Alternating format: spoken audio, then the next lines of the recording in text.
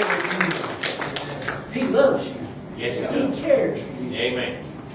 You know what? We may be here another 40 years, and I hope that's the only message you ever hear.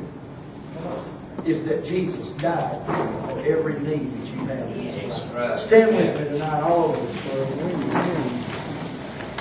I don't know your heart tonight. I don't know what's on your heart. I don't know what you're dealing with. I don't know what you're struggling with. But we're going to pray tonight. We're going to ask God to move in some people's lives. I believe He already has moved in some folks' lives.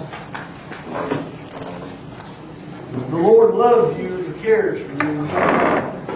Every part of your day, He's interested in. Every part of it. I don't know what you're dealing with physically or spiritually or emotionally in your life. There's God. There is a God. Amen. There is a God who knows. There is a God that when you got up this morning, He was not surprised by what you're going through. He already, He didn't wake up and read the paper or hear it on the radio and say, Oh my goodness, look what they're struggling with. No, He knew it before you even knew it.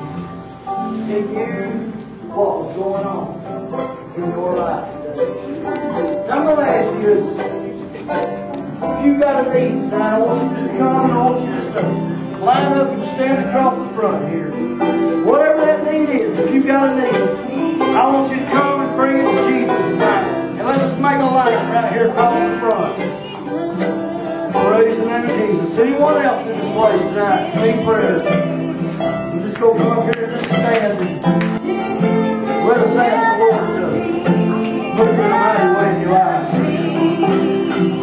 sing tonight, just ask you to come across the front, whatever your need is. Whatever that going